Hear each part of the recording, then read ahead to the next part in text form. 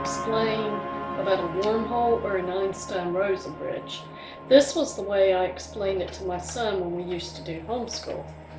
You take a piece of paper and you put two dots on it. Now, the quickest route to get from point A to point B would to be to go in a line, right? That's the quickest way to get there.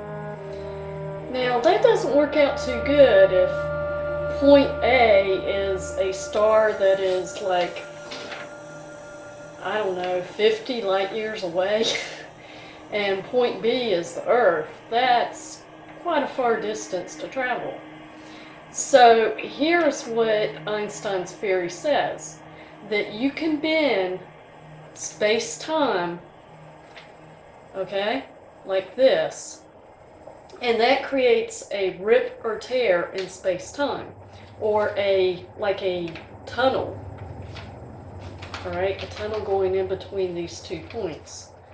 Okay, so if you do it like that and you link up the two points like this, well, then the quickest way is no longer to go all the way around like this. The quickest way is to go through space-time.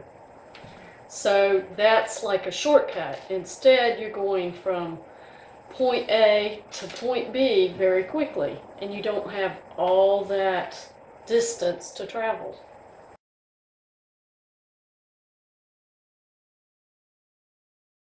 Can people travel through a wormhole?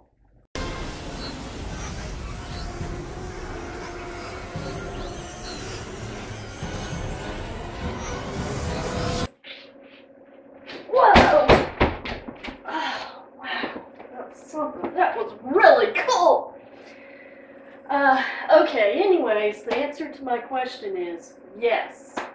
Uh, there's a theory called the Lorentzian traversable wormhole that was demonstrated by Kip Thorne. And uh, his theory proposes that you could take exotic matter to keep a wormhole open so that we can travel through it.